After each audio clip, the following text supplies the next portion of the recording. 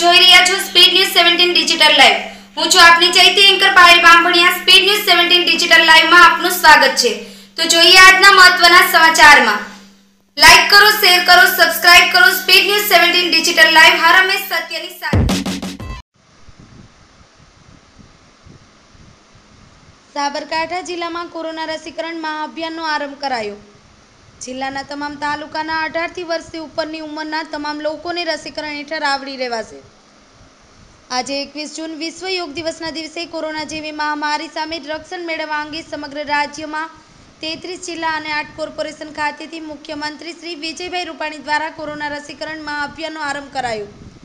જેમાં કોર્પોરેશન દીઠ પચીસ વેક્સિનેશન સાઇટ તથા રાજ્યના એક હજાર પચીસ સ્થળો પર કોરોના રસીકરણ મહાઅભિયાનનો શુભારંભ કરાયો હતો.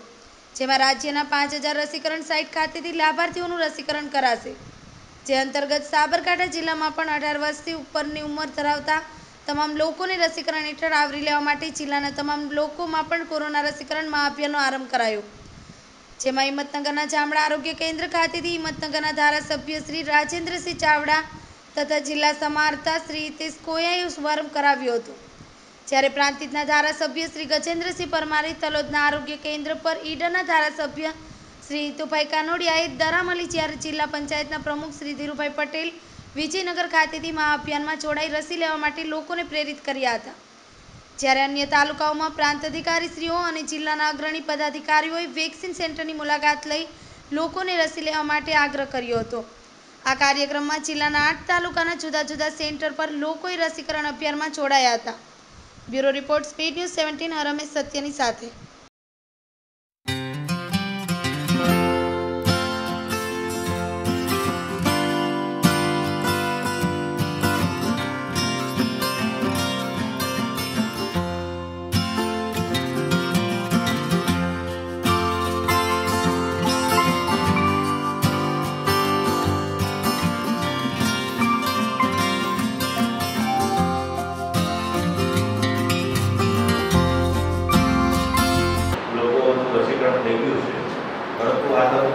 કહીશ કે જ્યારે કોઈ એક્ઝામ હોય એટલે સામાન્ય વિદ્યાર્થીઓને પાંત્રીસ માર્ક મળે તો ખુશ થઈ જાય.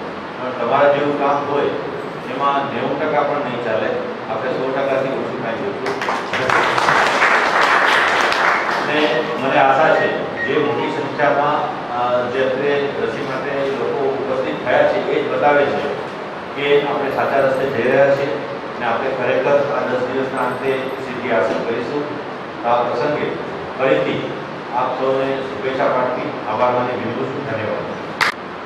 અને પંદરમી મે આવતા આવતા સુધી સરકાર અને વહીવટી તંત્રના સહયોગથી એક લાખ દસ હજાર દેડ ગુજરાતમાં પણ ઊભા છતાંય હમણાં વાત કરીએ સંભવિત ત્રીજી લહેર આવે તો શું?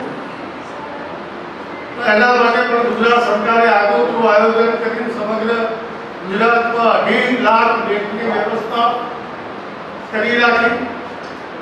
બારસો મેટ્રિક ટન જેવા ઓક્સિજનનો વપરાશ એની સામે અઢારસો ટનની વ્યવસ્થાઓ, દવાનો પર્યાપ્ત જથ્થો, બધું આગોતરું આયોજન કર્યું છે. હમણાં બે કરોડ વીસ લાખ લોકોએ ડોઝ લીધા છે. આ પરોક્ષ યુદ્ધ. ના, પરોક્ષ યુદ્ધની અંદર સમગ્ર વિશ્વમાં જ્યારે આ મહામારી ફેલાયેલી છે એના અનુસંધાનમાં ભારતના આપણા યશસ્વી અને પરિશ્રમી વડાપ્રધાન નરેન્દ્રભાઈ કે મારું ભારત, સ્વસ્થ ભારત રહે. એ દિશામાં અઢાર અઢાર કલાકે જે ચિંતા કરી અને આ વેક્સિનેશન સમગ્ર દેશમાં પહેલા પિસ્તાલીસ વર્ષના ઉંમર અત્યારે અઢારથી ઉપર ઝડપથી વેક્સિનેશન થાય તો ગુજરાત અને ભારતનો પ્રત્યેક નાગરિક એ એની લડાઈમાં કોરોનાની સમ- સામે લડાઈમાં જીતી છે લોકો માન્યતાઓના આધાર પર, અંધશ્રદ્ધાના આધાર પર પાડે હું અપીલ કરું કે પંદરમી માર્ચથી મે મહિના સુધીમાં જેણે ઘેર કોરોનાના ખાટલા આવ્યા હતા તે પરિણામને ખાલી પૂછજો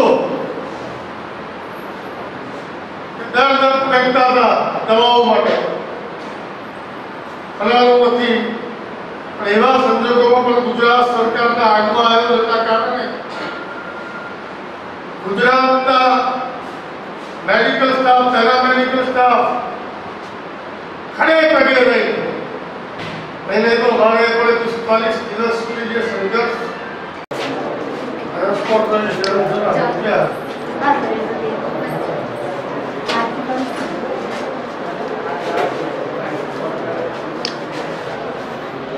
આવો તો ગોળી લે. હા હવે તો ગોળી લે. રાત્રે રાત્રે કે બીજી કા સવારે? આવો તો એકદમ ખરી ખરી